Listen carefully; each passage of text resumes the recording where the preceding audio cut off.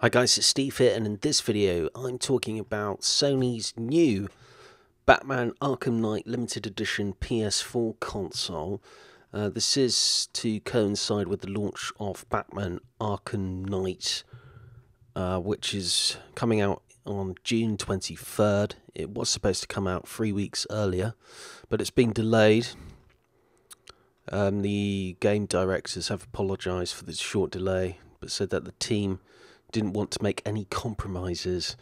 So uh, I'll probably be the judge of that when I'm playing on day one and there's, you know, several bugs uh, in the game. You know, I mean, surely Rocksteady and other game developers can get the games ready for launch or just, you know, just wait until it's ready and then announce a release date.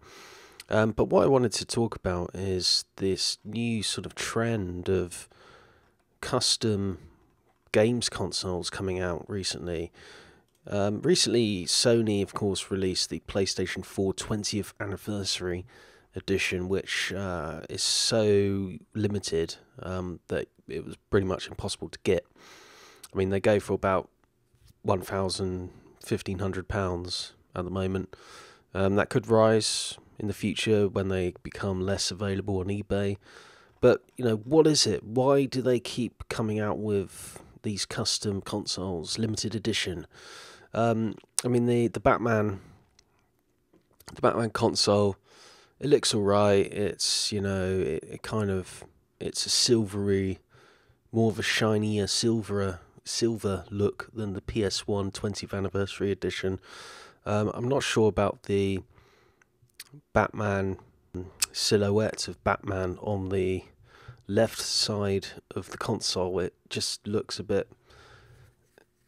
I don't know. I I think if you if you're sort of 15 years old, you know, um, well, it's an 18 plus game, so I guess if you're you haven't really grown up, uh, then you would go for this game. Um, hopefully, it, it will be a really good game because it's supposed to be the last game in the trilogy.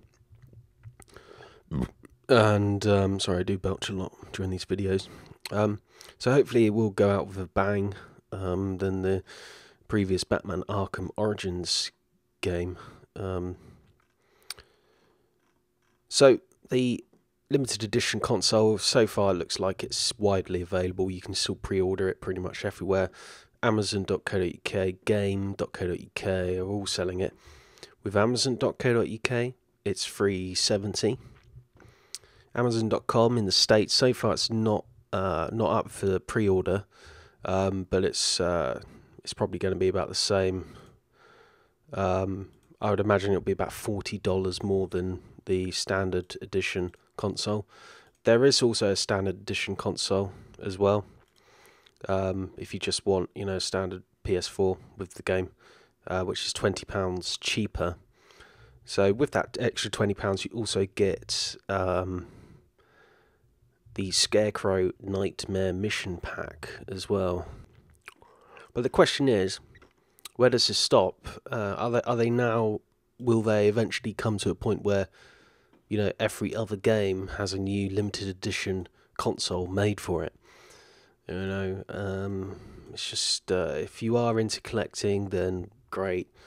But you know, just you just think, what's the point? You know, um, especially with the PlayStation One 20th anniversary edition, you you did feel that they should have perhaps uh, come out with more more uh, you know higher number than the 12 uh, 12,000.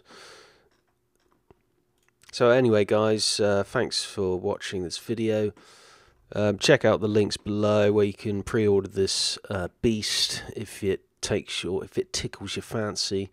I personally am going to wait for the PS4 Slim, um, and uh, I bet, I am betting that it will have a 4K Blu-ray built in, um, possibly. But anyway, thanks for watching, and I'm Batman.